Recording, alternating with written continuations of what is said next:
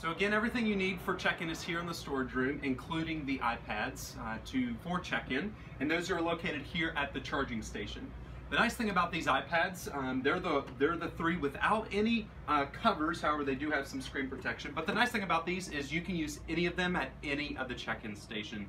It's just a matter of how you set them up once there. So we're going to go ahead and uh, take them uh, for check-in and uh, set them up in our check-in stations. Be sure to be careful with them. They do have screen protectors on them, but again, they don't have any cases, so be gentle with them. But let's go ahead and head to the first-time family check-in desk uh, to get these set up.